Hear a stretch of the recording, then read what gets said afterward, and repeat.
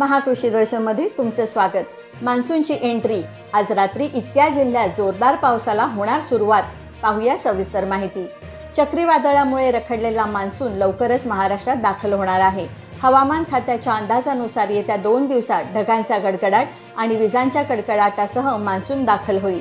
येत्या तेवीस जूनपासून तळ कोकणातील काही भागात मान्सून सक्रिय होईल. मान्सून मेघगर्जनेसह धडकणार असा अंदाज हवामान खात्याने दिला आहे.